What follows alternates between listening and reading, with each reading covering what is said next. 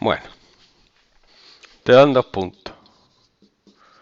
Te hace un repaso general a ver, a ver cómo estás tú. Este y este. Y te piden la ecuación de la recta. ¿Qué haces? Pues. mm, de, de esos dos. Sí. mm, ¿ah, ¿Se hace primero el módulo? No.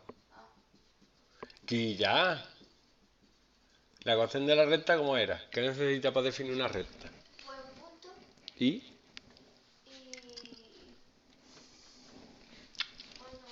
y. Un vector director. Y si tienes dos puntos, ¿cómo saca el vector director? Ese otro superhéroe, Thor. ¡Director! Venga, ¿cómo saca el vector director? ¿No te acuerdas? Restando los dos. Ah. Ahora sí te acuerdas, ¿no? Sí. Menos mal. ¿Y a mí por qué no se me olvida? Que lo he hecho ya, vamos. Bueno, ese es el vector director. Y una vez que lo tienes así, ¿cómo te gusta a ti? Con carne, sin carne, más frío, más caliente. Yo uso la, ¿cómo se llama esta? Ah, yo, esa, la continua.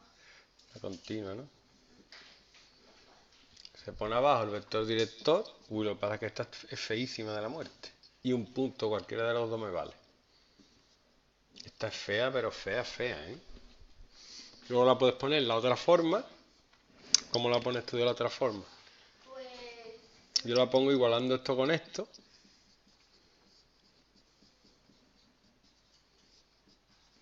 ¿Vale? E igualando esto con esto. Pero igual si igual esto con esto también te da. Esto te Dos suena- x igual a, cin- a menos 5 más 7 lambda. Esa es la paramétrica, ¿no? La paramétrica. ¿Te gusta la paramétrica? No sé, muy fácil. Más fácil. Yo la odio profundamente. No puedo con ella.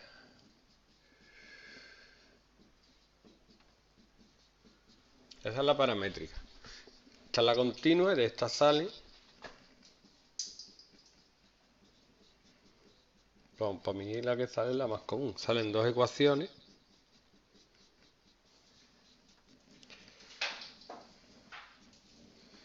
Sería menos 6x menos 30 igual a 7y menos 21. Y menos 4x menos 20 igual a 7z menos 49. Si la pones las dos juntas te queda. Voy a pasar esto para la derecha que me gusta más. 6x más 7y más 9 igual a 0 y a 0. El hombre de acero, Superman, otro.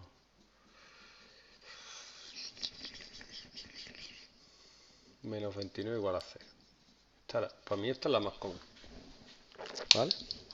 Ahora vamos a dar la vuelta.